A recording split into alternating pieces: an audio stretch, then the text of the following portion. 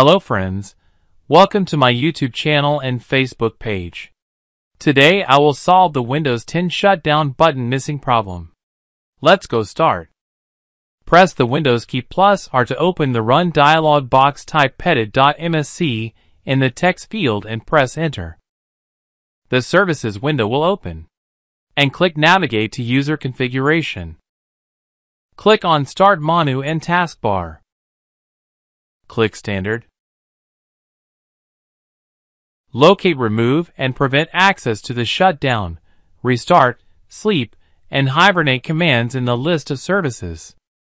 Double-click on this and set this to disabled or not configured. Apply an OK click and close the window.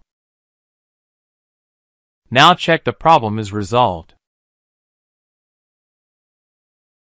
If you are first visiting my YouTube channel, please subscribe and notify the bell icon click and see your next updated video.